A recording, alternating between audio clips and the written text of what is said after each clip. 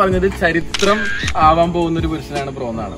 ഇപ്പോൾ ലഭിക്കുന്ന വിവരങ്ങൾ വെച്ചിട്ട് അദ്ദേഹം ചരിത്രം തന്നെ ആയിരിക്കുകയാണ്. നാസയുടെ അപ്പോളോ വണ്ണിനെ മറികടന്ന് വെളിച്ചത്തിന്റെ വേഗതയ്ക്കായി മൂന്നിരട്ടി വേഗതയിലാണ് അദ്ദേഹം സ്പേസിലേക്ക് എത്തിച്ചേർന്നിരിക്കുന്നത്. ഇനി അദ്ദേഹം സ്പേസിൽ നിന്ന് ചൊവ്വയിലേക്ക് പോകുമോ എന്ന ആശങ്കയുള്ളതായി എലോൺ മസ്ക് ട്വിറ്റർ അക്കൗണ്ടിലൂടെ പ്രകടിപ്പിച്ചു. ഹലോ ഗൈസ് ഇന്നത്തെ വീഡിയോയിൽ നമ്മൾ സംസാരിക്കാൻ പോകുന്നത് ദി ഗ്രേറ്റ് ഇൻഫ്ലുവൻസർ ബാറ്റിലിന്റെ എൻഡിനെ കുറിച്ചാണ്. സീക്രട്ട് ഏജന്റും ഡോക്ടർ കോമന്റിലും കൂടി തുടങ്ങി വെച്ചിട്ടുള്ള യുദ്ധത്തിന് ഒരു അവസാനം അങ്ങനെ ആയിരിക്കുകയാണ്. ഈ ഒരു കാര്യം സോഷ്യൽ മീഡിയയിൽ തന്നെ ഒരു ട്രെൻഡിങ് ടോപ്പിക്കായി മാറിയിരിക്കുകയാണ് ഒരുപാട് ഫേമസ് ആയിട്ടുള്ള യൂട്യൂബേഴ്സ് സീക്രട്ട് ഏജന്റിനെ സപ്പോർട്ട് ചെയ്ത് വീഡിയോ ഇട്ടുണ്ടായിരുന്നു. ഒരുപാട് പേര് സീക്രട്ട് ഏജന്റ് അരി വാങ്ങാൻ വേണ്ടി ഷോ കാണിക്കണമെന്നും പറയുന്നുണ്ട്. ഈ ഒരു കഥയത്തെ എൻഡ് അറിയണ മുമ്പ് നമ്മൾ ആദ്യം ഫ്ലാഷ് ബാക്കിലേക്ക് പോകണം ഫ്ലാഷ് ബാക്ക് മുമ്പ് ഒരുപാട് ഫേമസ് യൂട്യൂബേഴ്സ് ഡോക്ടർ ക്രോമെന്റലിനെ സപ്പോർട്ട് ചെയ്ത് വീഡിയോ ഇട്ടുണ്ടായിരുന്നു പൊന്നോ. പിന്നെ ഭയങ്കര പോളി മനുഷ്യൻ തന്നെയാണ്. അയാൾ എത്ര പൊളിയാണെന്ന് ഇപ്പോഴല്ലേ ഞങ്ങൾക്ക് മനസ്സിലായത്. ഒരു സൈഡിൽ നിന്ന് സപ്പോർട്ട് ചെയ്യാൻ മറ്റേ സൈഡിൽ നിന്ന് ഊക്കി വിടുക. വളരെ മോശമായിട്ട് ഒരു ബ്രേക്കപ്പ് കഴിഞ്ഞു. പോലീസ് കേസായി ഭാഗ്യത്തിന് ആ, വീ- വീട്ടുകാരും പിന്നെ കുറച്ച് ഫ്രണ്ട്സ് ഒക്കെ സപ്പോർട്ട് ഉള്ളതുകൊണ്ട് എനിക്ക് കോടതിയിലോ കയറേണ്ട കോടതിയിൽ കയറേണ്ട മിക്കവാറും വരായിരിക്കും. കേസ് കോടതിയിലുണ്ട്. പക്ഷെ ജയിലിൽ ജയിൽ ജയിലിലോട്ട് പോണ്ട വന്നില്ല. പേടിക്കണ്ട. അപ്പൊ കിട്ടാണ്ട് പോയ സൗഭാഗ്യം ഈ ഒരു സമയത്ത് കിട്ടാനുള്ള എല്ലാ ചാൻസും ഉണ്ട്. എ. ജെ. കിച്ചൂട്ടൻ ഡോക്ടറിന്റെ മേലെ കേസ് എടുക്കാൻ പോകണമെന്നാണ് പറഞ്ഞിട്ടുള്ളത്. എന്തായാലും കേസ് കൊടുക്കാൻ പോകണം കേസായിട്ട് മുന്നോട്ട് പോകാനുള്ള ഇതിലാണ് ഞാൻ നിൽക്കുന്നത് വിക്കി തന്നെ സെല്ലിൽ തന്നെ കിട്ടണേ എന്ന് ഈശ്വരനോട് ഞാൻ പ്രാർത്ഥിക്കാം. പണ്ട് പുള്ളി കാണിച്ചിട്ടുള്ള പല സൈക്കോത്തരും പോരോന്നായിട്ട് വെളിയിൽ വന്നുകൊണ്ടിരിക്കുകയാണ്. പല സൈസാറെ കുറിച്ചുള്ള ഓഡിയോ വന്നപ്പോഴാണ് ഈ ഒരു കാര്യം ഇത്രയും ടോക്സിക് ആയി മാറിയത്. പറയല മക്കളെ പാലാജിനെ പോലത്തെ ഒരു വാണത്തിന് ഇങ്ങനെ ആക്കിയതിൽ ഒരു വലിയ പങ്കുള്ള ആളാണ് ഞാൻ. ഇപ്പൊ ഫസ്റ്റ് ഞാൻ പറയാൻ പാലാ സജി. എനിക്ക് ഇൻബോക്സ് എനിക്ക് നല്ല ഓർമ്മയുണ്ട്. ബ്രോ പണ്ടത്തെ സപ്പോർട്ട് കിട്ടണില്ല ആകെ ബുദ്ധിമുട്ടാണ്. വ്യൂസ് കുറവാണ് എന്നല്ല ഞാൻ എന്നെ സപ്പോർട്ട് ചെയ്യണം ഞാൻ ഒരിക്കലും പറഞ്ഞിട്ടില്ല. ഈ ക്രോമെന്റിനോട് പറഞ്ഞിട്ടില്ല അർജു അതുപോലെ ആരോട് ആരോടും ഞാൻ എന്നെ സപ്പോർട്ട് ചെയ്തു എന്റെ റോൾ ഇടണമെന്ന് ഞാൻ ജീവിതത്തിൽ പറഞ്ഞിട്ടില്ല.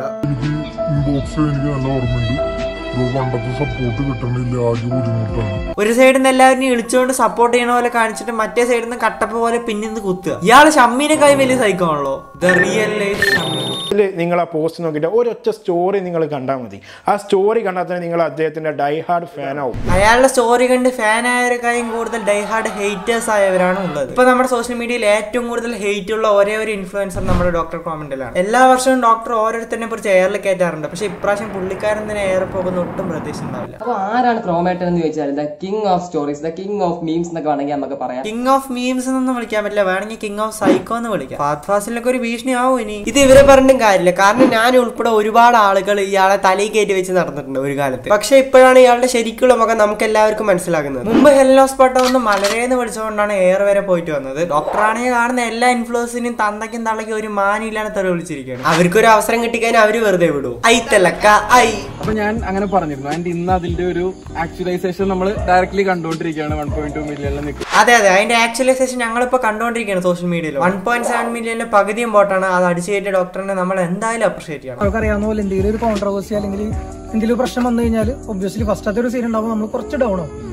ഡൗൺ ആയാലും പുറത്ത് കാണിക്കരുത്. ക്രോമെന്റിൽ ഫുൾ ടൈം ഇഗ്നിറ്റോ മോഡിലായിരിക്കും ഒന്നും പുറത്ത് കാണിക്കില്ല. ഇത്രയും ദിവസം കഴിഞ്ഞിട്ട് ഇന്നാണ് ഇയാൾ ഈ ഒരു കാര്യത്തെ കുറിച്ച് റിയാക്ട് ചെയ്തത് ഡോക്ടർ ക്രോമിന്റെ ഒരു സ്റ്റോറി ഇട്ടിട്ട് ചെയ്ത തെറ്റിനൊക്കെ എല്ലാവരോടും പരസ്യമായിട്ട് മാപ്പ് അപേക്ഷിച്ചിട്ടുണ്ട്. സീക്രട്ട് ഏജന്റ് കാരണം ഡോക്ടർ ക്രോമിന്റെ ഒരുപാട് ഫോളോവേഴ്സ് നഷ്ടമായിട്ടുണ്ട്. ഒരുപാട് ഹേറ്റേഴ്സ് വളർന്നിട്ടുണ്ട്. അതുകൊണ്ട് നമ്മുടെ സീക്രട്ട് ഏജന്റും കുറ്റബോധം തോന്നിയിട്ട് ഡോക്ടർ ക്രോമിനോട് സീക്രട്ട് ഏജന്റ് ചെറിയ രീതിയിൽ അപ്പോളജൈസ് ചെയ്തിട്ടുണ്ട്. പിന്നെ എന്റെ ഭാഗത്തുനിന്ന് പറ്റിയൊരു ബാഡ് ആയിട്ടുള്ള ഒരു ബാഡ് ആയിട്ട് എന്ന് പറയാൻ പറ്റില്ല പക്ഷെ അങ്ങനെ നമ്മൾ പറയേണ്ട പക്ഷെ എനിക്കെന്താ അറിയാ ഇല്ല പക്ഷെ എന്നാലും എനിക്കെന്താ അറിയോ എന്റെ ഭാഗത്തുനിന്ന് ഞാനൊരു വാശി മനസ്സിൽ വെച്ചു. ഞാനല്ല ഞാൻ കുറേ കാര്യങ്ങളൊക്കെ ഞാൻ എനിക്ക് ഈ ഒരു ഇതിന്റെ മുകളിൽ ഞാൻ ചെയ്തു കൂട്ടിയിട്ടുണ്ട്. ഭയങ്കരമായിട്ട് ഞാൻ ചെയ്തു കൂട്ടിയിട്ടുണ്ട്. എനിക്ക് അതിങ്ങനെ ആലോചിക്കുമ്പോൾ ഇങ്ങനെ ഭ്രാന്ത് പിടിക്കും. ഓക്കെ? എന്റെ മനസ്സിൽ നിന്നുള്ളത് പുറത്തു പോയി. ഈ ഒരു അപ്പോളജി വന്നതോട് കൂടിയിട്ട് ഇപ്പൊ സോഷ്യൽ മീഡിയയിൽ എന്തൊക്കെയാണ് നടക്കുന്നത് കുടുംബശ്രീ മാറി നിൽക്കും പണ്ട് നമ്മുടെ അർജു തന്നെ സീക്രട്ട് ഏജന്റിനെ റോസ്റ്റ് ചെയ്തിട്ടുണ്ടായിരുന്നു. സോ ഞാൻ നിങ്ങളുടെ സ്വന്തം സീക്രട്ട് ബോയ് സോ ഞാൻ ഇന്ന് വീഡിയോ ചെയ്യുന്നത് എന്റെ മനസ്സിനെ നടുക്കിയ ഒരു കാര്യം നടന്നുകൊണ്ടാണ് സത്യം പറഞ്ഞത് കണ്ടപ്പോൾ എനിക്ക് ഭയങ്കര സങ്കടമായി ഭയങ്കര എനിക്ക് എന്ത് ചെയ്യണമെന്ന് അറിയത്തില്ലായിരുന്നു. ഞാൻ എന്താ സംഭവിച്ചതെന്ന് പറയാം. ഞാനിന്ന് റോട്ടിൽ കൂടി പോയപ്പം ഒരു അമ്മച്ചീന ഒരു പത്ത് നാൽപ്പത് വയസ്സ് കാണും. ആ അമ്മച്ചീന ഒരു വണ്ടി അടിച്ചിട്ട് നിർത്താണ്ട് പോയി. അപ്പം ഈ അമ്മച്ചി എണീക്കാൻ വയ്യ. ഈ അമ്മച്ചി ഇങ്ങനെ കിടക്കുക ചോരയിൽ കുളിച്ച്. പക്ഷെ എന്റെ മനസ്സിനെ നടുക്കിയ ഒരു കാര്യം എന്താണെന്ന് വെച്ച് കഴിഞ്ഞാൽ ആരും അമ്മച്ചിനെ തിരിഞ്ഞു നോക്കുന്നില്ല.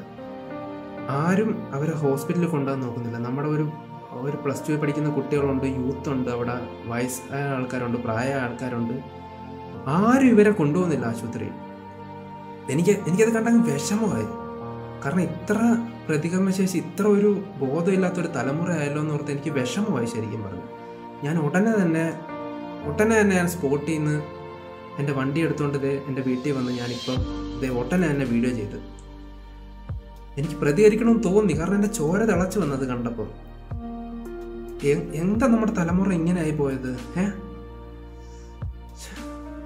എനിക്ക് എനിക്കറിയില്ല ഗൈസ് എന്നാ പിന്നെ തനിക്കൊണ്ടോ കൂടായിരുന്നോ ആശുപത്രി? അല്ല തനിക്ക് ആശുപത്രി കൊണ്ടുപോകൂടായിരുന്നു നീ പറയുന്ന നേരം കൊണ്ട്? ആർക്ക്?